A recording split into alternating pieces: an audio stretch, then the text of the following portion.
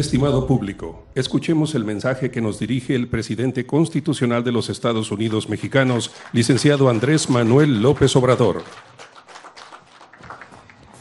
Amigas, amigos de San Quintín, estudiantes, nos da mucho gusto estar en esta universidad del sistema de universidades Benito Juárez son ya 140 universidades, 145, corrijo, en todo el país, para que los jóvenes que terminan el bachillerato, de educación media superior, puedan estudiar también la universidad, que no tengan que irse a otros municipios, en el caso de San Quintín, que no tengan que irse a Ensenada, y así en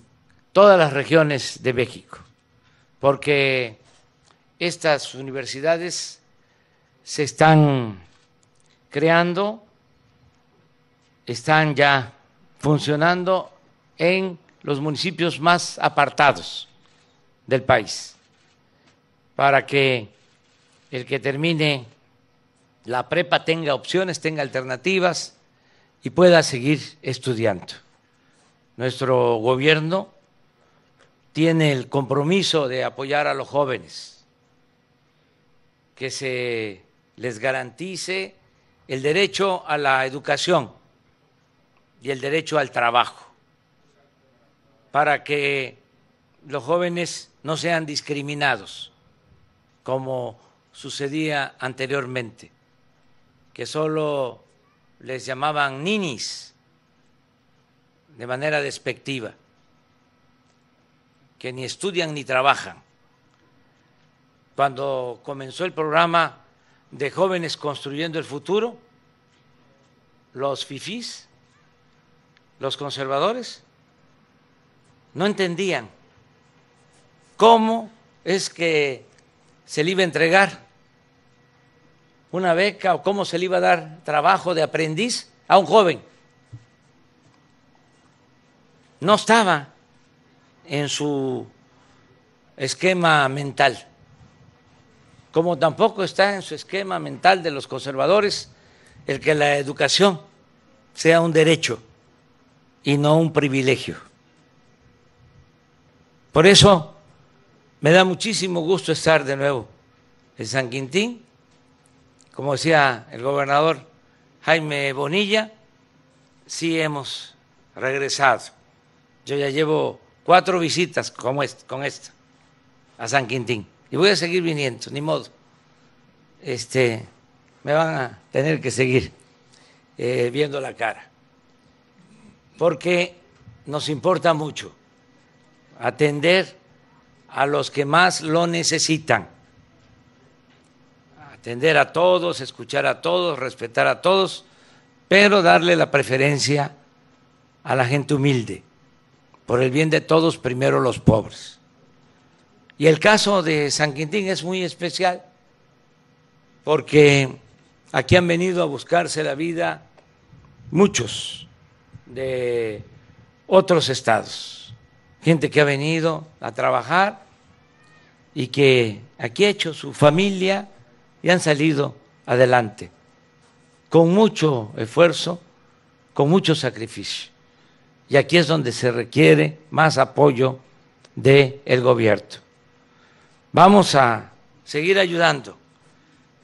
Eh, ya en lo que llevamos del gobierno se amplió el hospital del IMSS Bienestar y estoy pendiente de que funcionen. Se ampliaron también las especialidades para que eh, haya una mejor atención.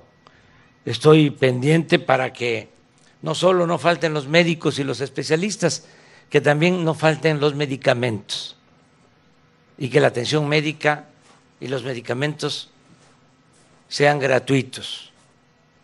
También Aquí en San Quintín ya se terminó una instalación para la Guardia Nacional, porque es muy importante que haya paz, haya tranquilidad.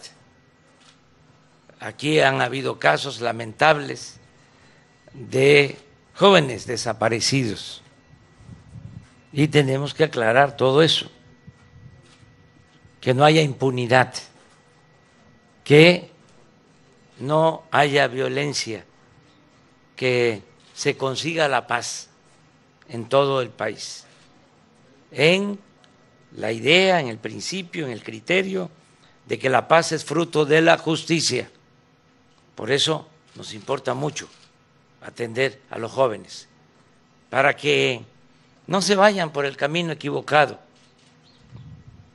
para que no sean empujados a tomar el camino de las conductas antisociales y que no se dejen eh, engañar, manipular, que no se dejen eh, influenciar por el consumismo, por el lujo barato, el que eh, se esté pensando nada más en lo material, en el dinero, en la ropa de marca, en el carro último modelo, todo eso que es efímero, que no tarda, que no dura, y más cuando es mal habido. Tenemos que fortalecer valores culturales, morales, espirituales, pero hay que atender a los jóvenes para que no los enganchen las bandas. Eso es lo más importante, no darle la espalda a los jóvenes. Faltan muchas cosas todavía por hacer en San Quintín. Tenemos que buscar la forma de que se amplíe la carretera hasta acá. Ya estoy tomando nota de esa petición. También eh, nos han pedido en algunos pueblos que haya semáforos, porque hay muchos riesgos en la carretera. Por otro lado, este, no pueden haber tantos semáforos ni tantos topes, porque entonces se tardaría uno mucho en llegar, ya sea a Guerrero Negro o a Ensenada o a Tijuana. Hay que tener los que realmente se requieran. Entonces vamos a que haya esos semáforos. Ya ven cómo es eh, el elefante reumático, cómo es la burocracia, que para todo es trámite y lleva tiempo y hay que estar empujando el elefante. Ahora me decía Jaime, es que es carretera federal y tiene que dar la autorización la Secretaría de Comunicaciones y Transportes. Bueno, le dije, ahora que venimos el camino, el presidente da la autorización. Tú ya pon este, los semáforos y aquí ya lo estamos dando a conocer al secretario de Comunicaciones y Transportes de que van a ponerse los semáforos, porque la vez pasada me pidieron lo mismo. Incluso una compañera, Triqui, joven, que fue atropellada. Ella me lo pidió. Y ahora es artesana y la volví a encontrar. Y me dijo, ¿qué pasó con el semáforo? Entonces sí le vamos a cumplir con su petición, con su demanda. También eh, nos plantearon de que esté en proceso otra universidad en San Quintín, que me da mucho gusto, para que haya más opciones, más alternativas. Todo lo que sean escuelas, todo lo que sean hospitales, todo lo que son obras públicas, agua, drenaje, pavimentación de calles, todo eso es lo que se tiene que hacer y que se procure que haya trabajo y salarios justos. A mí me llena mucho de satisfacción de que cuando llegamos eh, aumentamos el salario mínimo. Esto no se sabe mucho porque nuestros adversarios no lo difunden o no les conviene que se sepa. Pero durante todo el periodo neoliberal, más de 30 años, el salario mínimo, en vez de subir en términos reales, bajaba. Se los puedo exponer de manera muy sencilla. En 1990, un salario mínimo alcanzaba para comprar 50 kilos de tortilla. Así estaba. Y cuando llegamos nosotros al gobierno, el salario alcanzaba solo para comprar 5 kilos y medio de tortilla. De 50 kilos hace 30 años a 5 kilos y medio. Así se deterioró el poder adquisitivo del salario. Eso es la política llamada neoliberal o neoporfirista.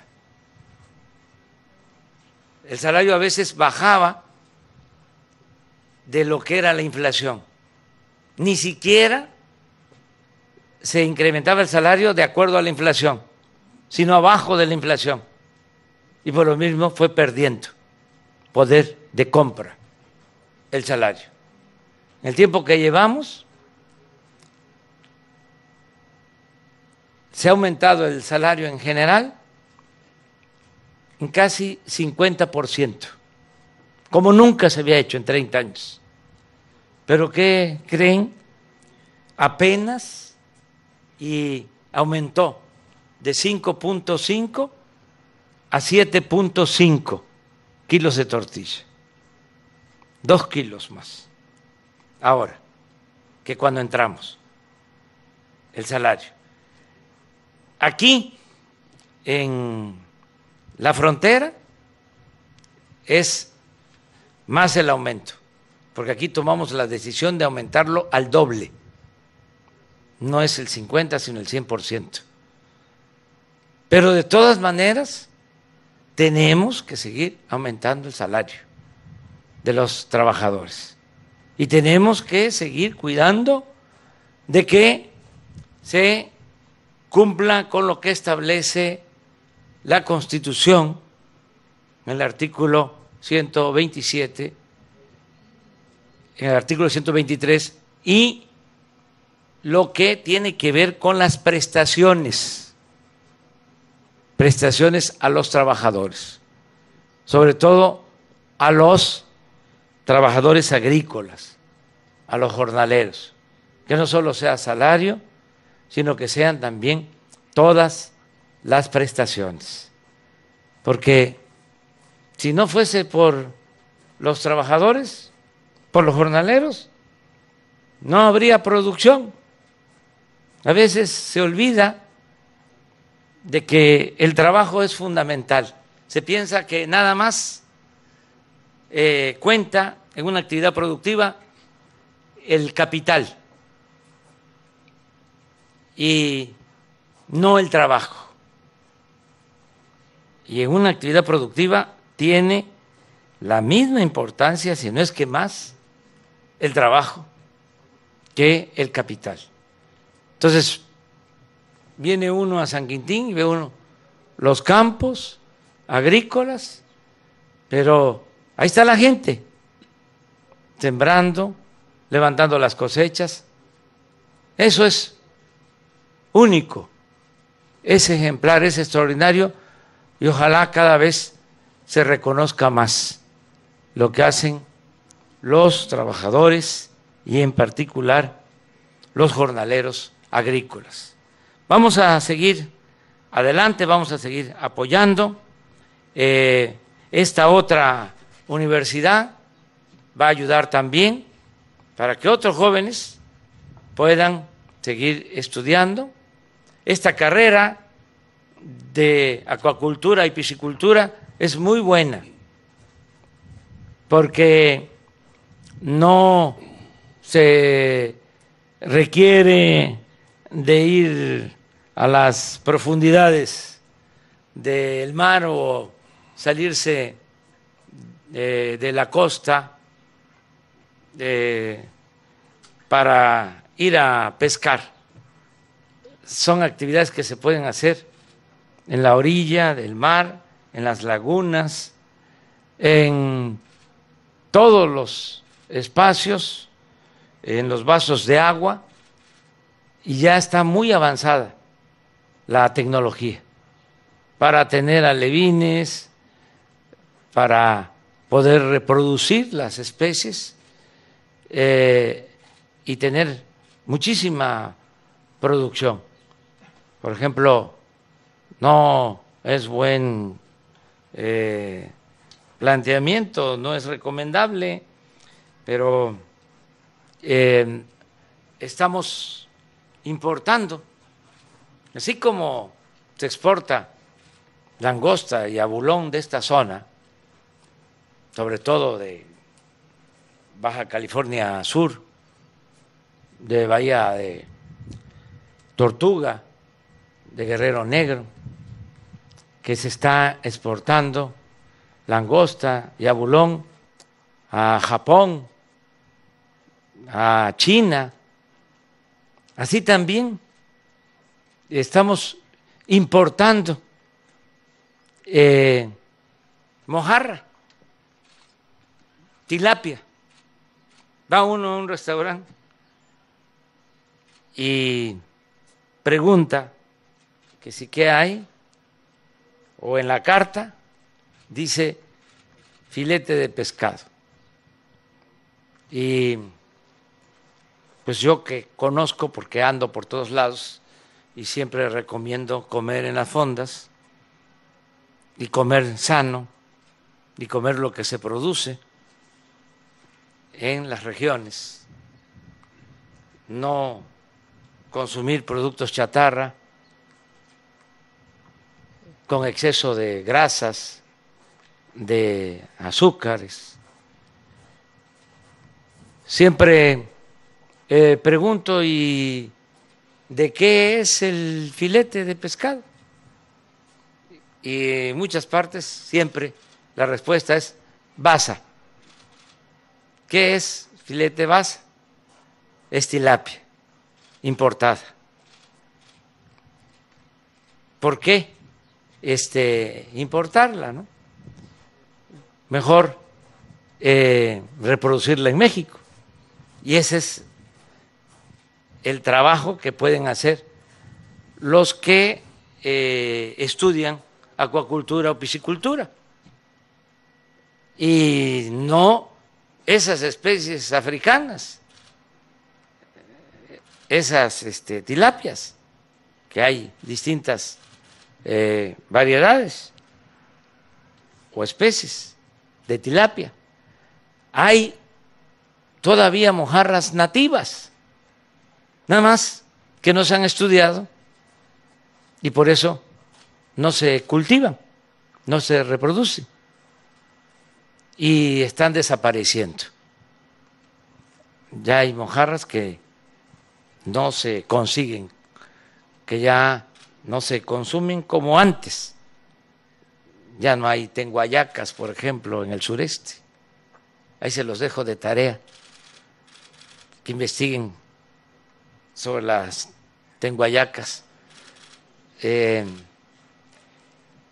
ustedes van a tener esa profesión extraordinaria, muy buena, para eh, crear en granjas pescados, mariscos y eh, tienen mucho futuro.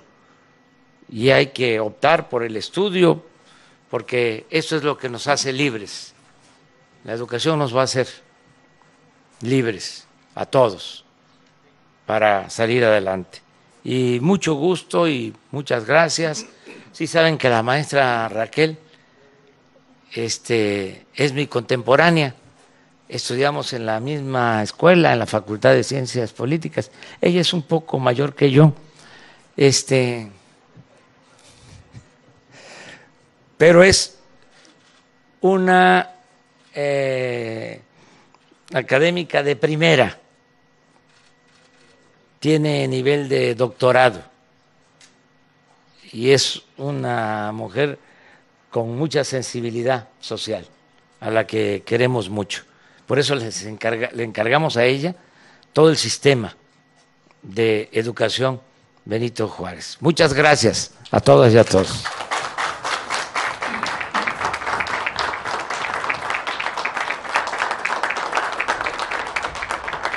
A continuación, en otro momento especial, procedemos con el corte de listón a cargo de la línea de honor.